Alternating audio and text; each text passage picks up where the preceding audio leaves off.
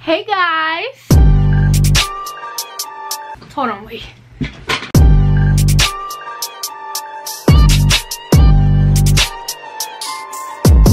It's me. And today I have a very long awaited video.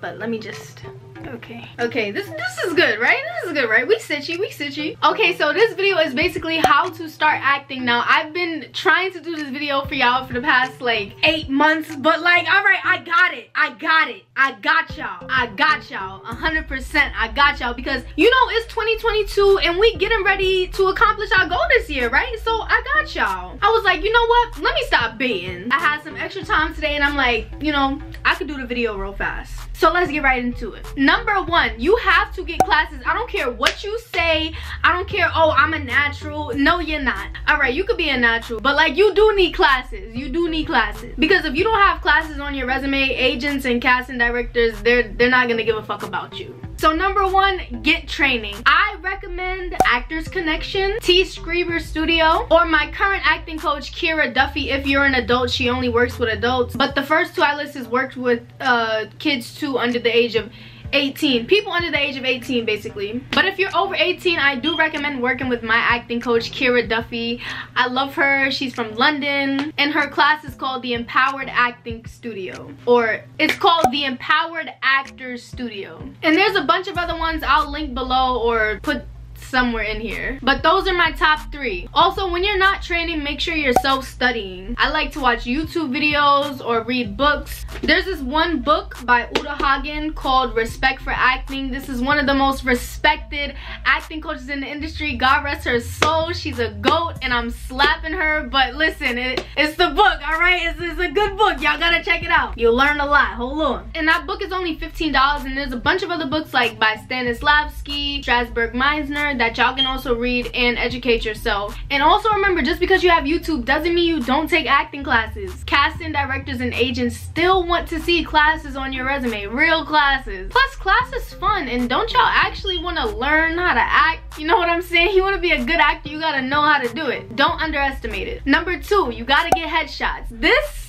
your face is what's getting these people to look at you. So you gotta get some good quality headshots. Headshots can go anywhere from 200 to $800. Maybe even a little bit more. It depends on the photographer. But this is your moneymaker, so you need to have this like, you need to be sitchy, feel me? So make sure you look around in the area, search up on Instagram, headshot photographers, and wherever you live, New York. There's a couple of ones I could recommend. I'll, um, you know, put it somewhere here. Um, I'm currently about to do headshots with David Genik, or is that his name? Hold on. And my former headshot photographer aka my former acting coach aka my mentor. I love her soul. Her name is jazelle foster but she actually moved to atlanta. So if you live in atlanta you can hit her up. She could probably do some headshots for you period. And just a personal tip make sure your headshots are what you look like on a regular day like y'all see how i have this long hair? I probably wouldn't go in a headshot shoot with this long hair because this isn't my real hair that's one and it's not this long you know what i'm saying? Like you can go in with like a wig or like some weave but just make sure it's a it's a hairstyle you wear all the time. Because if an audition comes you gotta look like what the fuck you look like in your headshot. Like for example if you have on a full face of makeup and a bomb ass weave in your headshot but you pull up in the audition room with a bare face and your natural hair and a little ponytail they gonna look at you like you're crazy your headshot is your prime material, don't bait. Another example, like one of my headshot shoots I had in twist and now I'm about to switch my hairstyle and do more like curly type hairstyle, hairstyle that fits me in a hairstyle I can get all the time. So y'all about to see that too. Number three, you gotta get a resume, you gotta get some experience.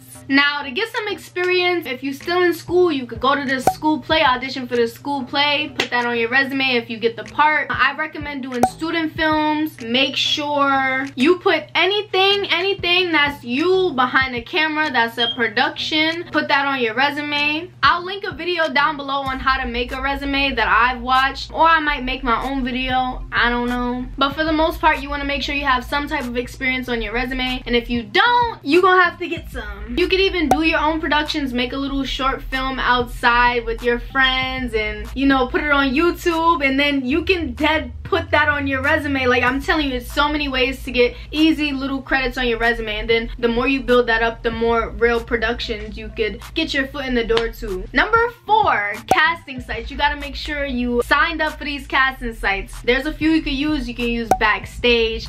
Actors Access is one of the main ones. Casting Networks. You can use Casting Frontier too. Nobody really uses that, but it's something good to um start out with and just have on the side. But the main ones are backstage and actors access. These ones they gonna get you sissy. that's gonna get you into something. Hold on. You do have to pay for these websites too like once a month. But you have to though because this is what's getting you these auditions and submissions and stuff. But always remember that that's like one of the only things you should pay for. Like when y'all start getting bigger in this industry and start talking to agents and casting directors they should not be charging you no money bro. They should not be charging you money. Only after you get signed they take a percentage out of what you make when they book you a job. But other than that like all these casting networks like backstage actors access yes you you do pay for those. So when you sign up for these accounts just put in your information put your pictures put your headshots up up there put your experience your skills what the fuck can you do? Can you dance? Do you have your license? Put that up there and then start submitting to all these projects i'm about to show y'all